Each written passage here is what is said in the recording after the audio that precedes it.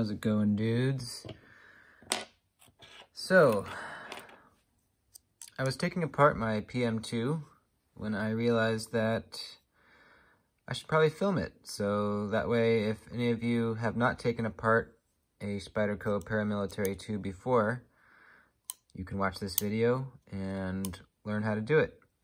And it's pretty self-explanatory, but I know when I take apart a knife for the first time, I usually watch a disassembly video just to make sure I'm not going to be surprised by any weird mechanics or, um, you know, just so uh, I, am prepared and kind of know generally what, um, what to expect. So let's do it. Um, this, uh, this knife was my work carry knife for a little while. Uh, but I recently acquired a Spyderco Manix 2, and that has become my primary work knife along with the Mini Adamas. So I want to clean this baby out, get all the grit out of the pivot area, and it'll be, you know, my weekends knife or, you know, anything besides work. Uh, because I get a lot of grit and grime in my knives at work, and I want to get this one nice and clean and ready to use. So, all I've done um, so far is just take out all the screws on the show side.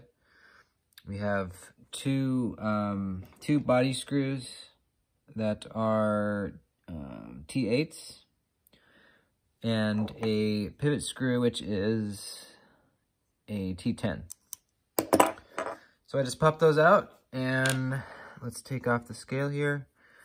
This is going to be uh, a little bit more difficult if you're taking apart the knife for the first time.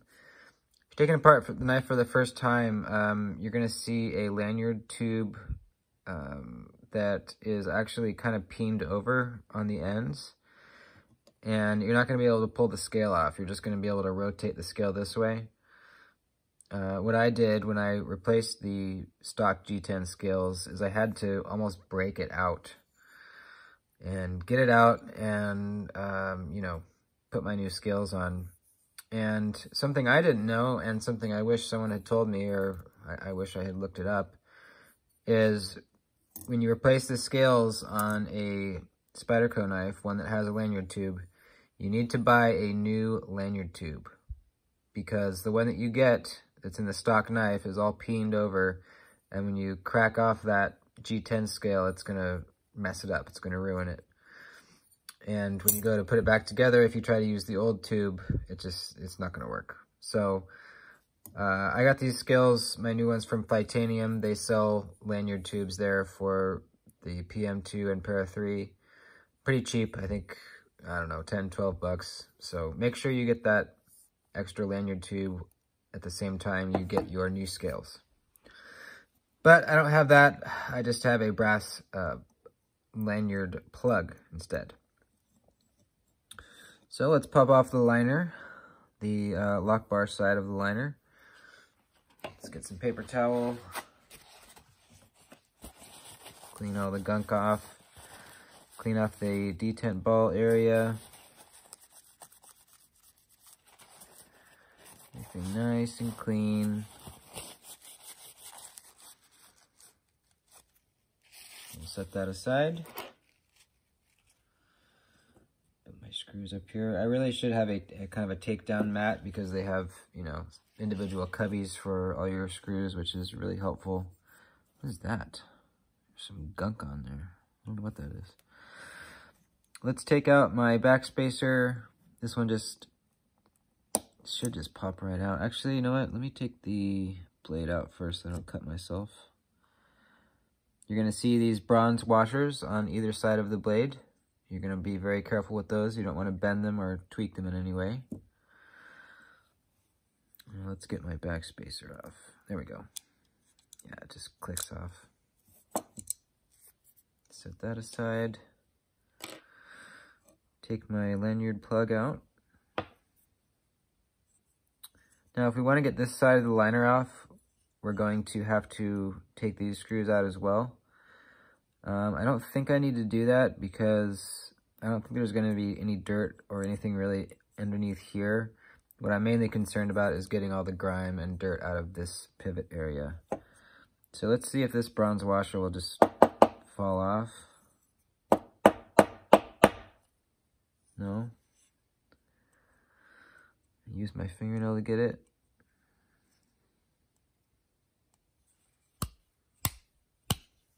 Hmm. Maybe I will have to take that pivot out.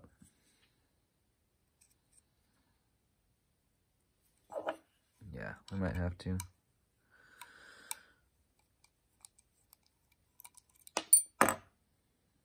Take the pivot out. And we can get our washer. I'm seeing some remnants of some, some, what's it called? I'm blanking. Um, Loctite. I'm seeing some Loctite residue I want to just clean out. You know what? Let me get my Leatherman out.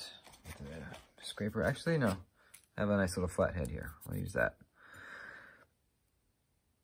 I don't always put Loctite, uh, Loctite on my knives, but I think if I recall correctly, I put it on this knife because the pivot would periodically get loose, and so I just put some Loctite on there so it wouldn't keep moving around. You always want to use a blue Loctite, not the red stuff. The red stuff is too strong and you'll never be able to get your screws out again without really going to town on them, possibly stripping them. So just cleaning out the Loctite residue here. Don't have to get it perfect. Alright, I think that's good enough. Let's see if there's any in here. Yeah, there's a little bit.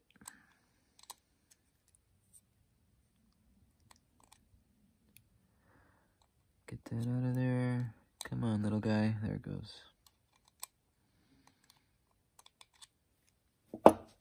I usually use Q-tips to kind of get in these small areas, but I don't happen to have any here. So it'll be all right.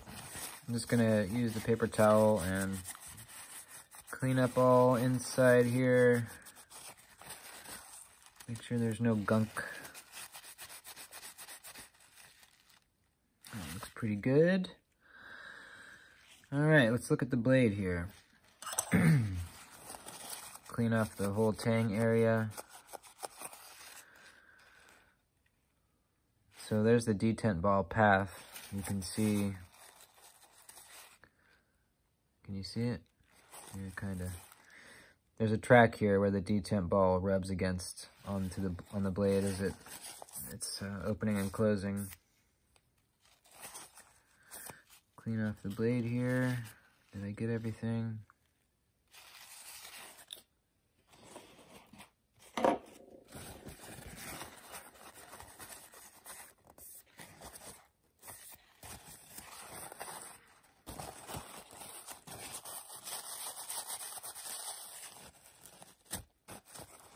Make sure you get all the nooks and crannies. Alright, that looks pretty good. Now, as far as these washers go, I'm going to show you guys a little trick that I use to get them nice and shined up and smooth. So let me go get something real quick.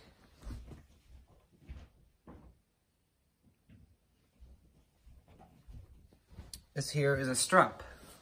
It's used to, uh, after you're done sharpening, you know, you're going to want to run your knife over this. It's just leather with some stropping compound on it.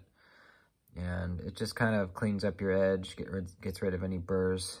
Um, but right now I'm going to be using it to kind of shine up my washers a little bit. So I'm going to put it on there like that and just kind of back and forth, rub it in there a little bit.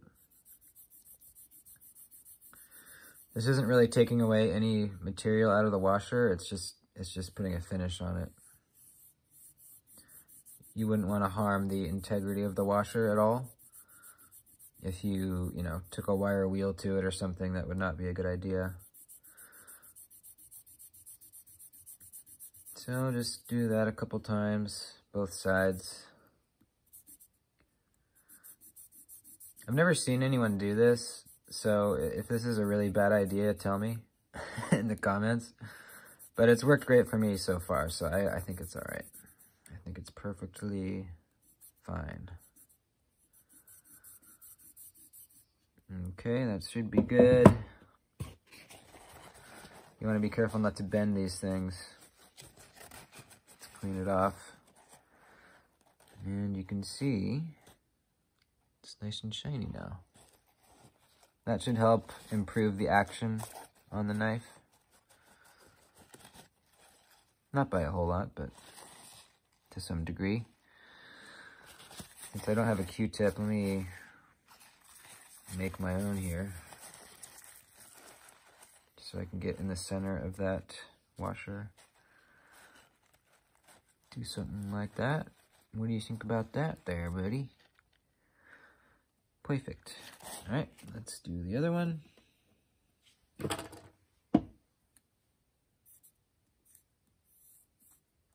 Come on.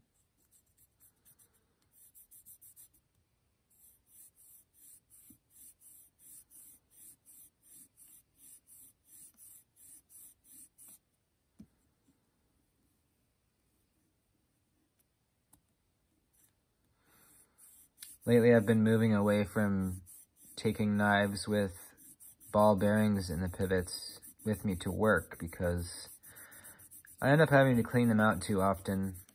And even though before I go home after work, I usually blow them out with compressed air, um, just, you know, there's a grittiness that gets in them, and I think it's pretty unavoidable with uh, ball bearing uh, ball bearing knives. So I'm getting back to just carrying knives using phosphor bronze washers instead. Um, they're much better at resisting grit and grime. Okay, our washers are nice and shined up. Whoopsie. Our washers are nice and shined up. So, it is time to reassemble. Let's get our lube out. I'm not sure even sure what brand of lube this is. This is similar to um, the Tuf-Glide I have at home. Uh, but I, as far as I can tell, it's pretty much the same as a Tuf-Glide.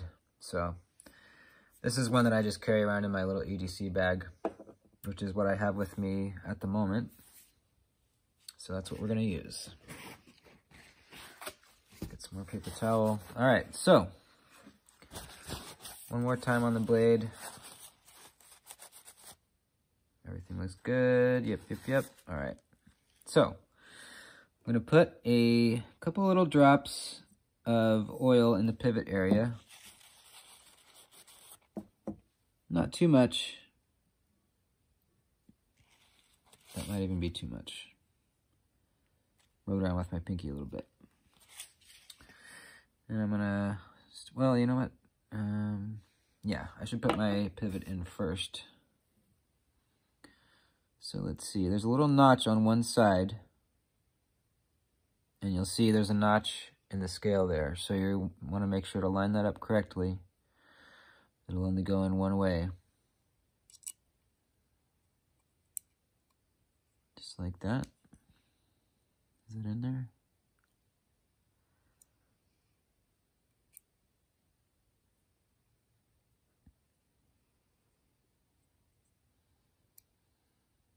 Going on here?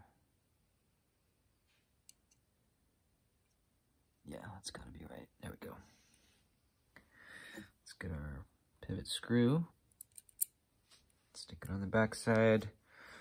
You can hold it in with your finger.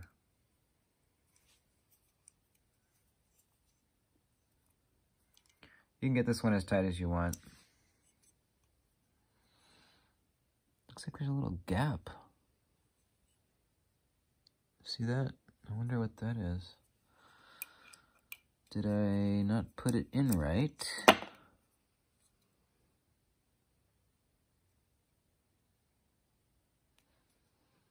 Well, now it's stuck in there.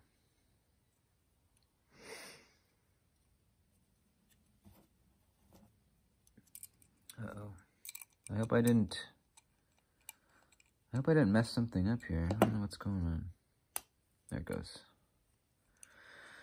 I wonder if there's a little bit of Loctite still in there. Why is it not wanting to cooperate? Let's get our pivot, or our notch and our pivot lined up. Right there, should be perfect. Why is it not sitting flat? What is happening?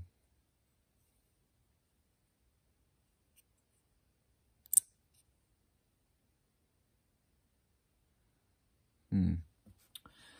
Maybe there's a little bit of residue in there still. Let's see.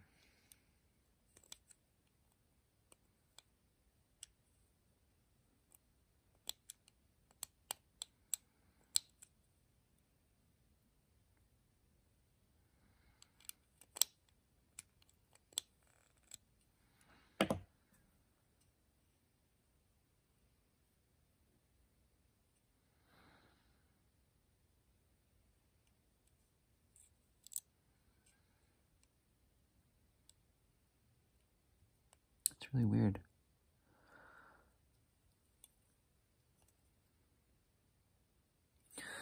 Well, I wonder if that'll just suck itself in when I tighten everything down. You think? What do you think, guys? I know you can't talk to me right now, but... What do you think of that? Hmm, let me get a flashlight.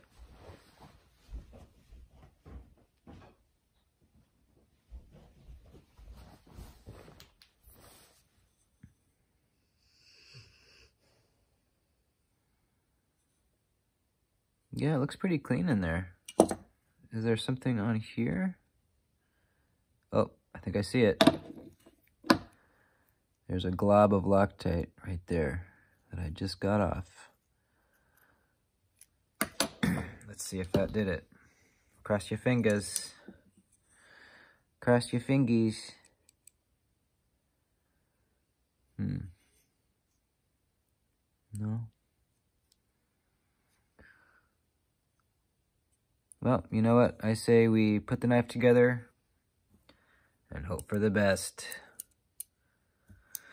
That's a that's a philosophy I've come to use quite a bit in life. At work. Um, God damn it. Um, at work, I'm almost weekly faced with a project or, you know, something that I really don't know how to do at all and I just go for it. And usually, usually it works out. But I don't like how that's sitting on there. You guys see that? That's concerning. That's very concerning. Well, let's put the knife together. So we're gonna drop some lube right there like we did before. Drop our washer on. Oh, you know what? Okay, guys, I'm an idiot. The reason there's a little gap in there is because that's where the washer goes. Oh my god. Yeah. Sorry, guys. I should have maybe done a little refresher before I started. So, here's how we're going to have to do it. Is there still lube on there? Yeah, okay. First, you're going to put your washer there. Then, you're going to get your pivot, find the notch in it, line it up with where it needs to be, Stick it in there. Hold it with your finger, flip it over, put your screw in. It's okay, Foki. No barking. And there, look at that. Perfect. No gap, sitting flush, everything's good. It's okay, Foki. No barking, okay? So, cool, cool. All right.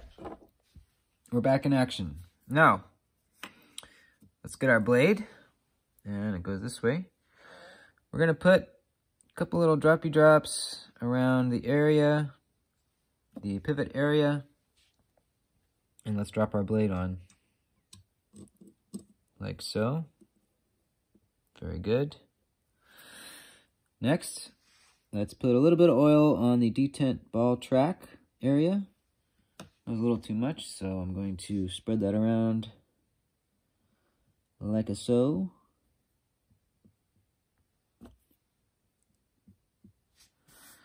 Just like that. Then we're going to drop our second washer on. Then we're going to grab our liner. And it goes, yep, goes that way. Going to put a little drop of oil on the pivot ball, like a so. And then, let's drop it on there. Oh, I need my plug. The um, the backspacer can be put on after the knife is together, so I don't need to worry about that right now. Okay, everything's lined up. I'm going to grab my scale, put it on top there, and then push down gently until I hear a snap. There, I heard the snap. Grab my pivot screw, stick it in. Tighten it down, not all the way, but just to hold the knife together. Grab my body screws. Stick them on in there. Change my bit.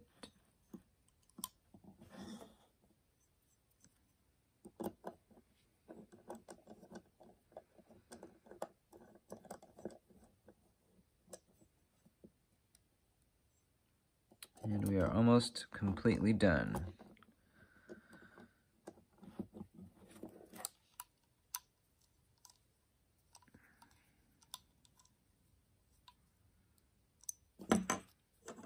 All right, we're back together. It locks up like it should. Now I'm going to tighten down my body screws. Not too tight, just very snug. Check the other side even though we didn't mess with those ones. Now let's tighten up, oh, need to change the bit. Let's tighten up the pivot that, um, you know, that we were messing around with first, the one on the clip side. And then this one is the one that we're going to mess around with to get our centering and our action right. So let's look at our centering. Centering is okay. Let's try the action. Oh, too stiff. Let's back that off.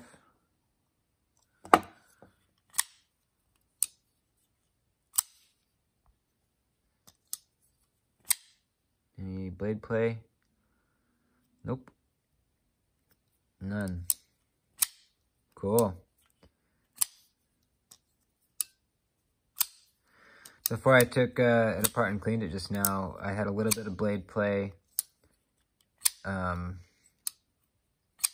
with this good of action. So now I have no blade play and the action is still good. So that is very good. My centering is a little bit off. You know what? Let me try to adjust that. I'm going to show you guys how to adjust uh, an off-centered blade really quick. Uh, so what you're going to want to do is tighten down your pivot pretty tight. Not uber, uber tight, but pretty tight. Tighten that down. Open up your blade halfway. And you're going to want to just loosen up your body screws. You're not going to take them out. Just loosen them up. You can do all four. And you want to close your blade. And you're going to want to use your finger to push the blade in the direction that you want it to go. So you're going to overcorrect it in the way you want it to go. Then you're going to tighten up your body screws again.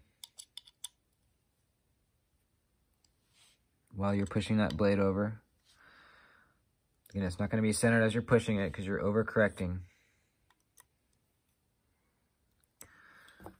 Now let's loosen our pivot.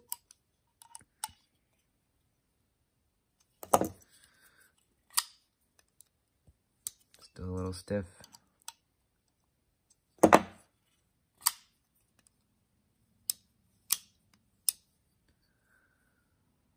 our centering is perfect.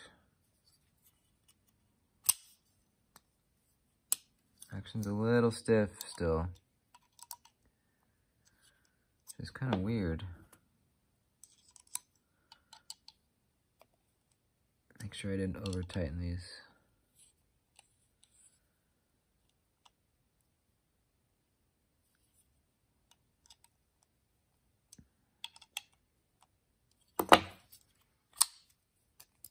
There we go. Oops. Our centering is just about good. It's a little off, but I'm gonna call that good.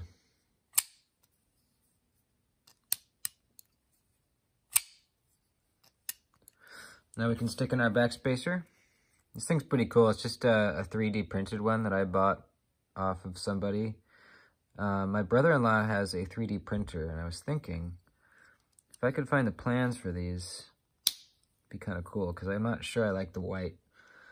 Um, but I bet I could print out backspacers for a bunch of different knives. I wonder if there you can find plans for different knives online for the 3D printer. That'd be kind of cool. So there you have it, folks. Action is great. Lock up. Totally solid. Rock solid. It was a success. Very happy. There you have it. Thanks for watching, guys. And I'll see you next time.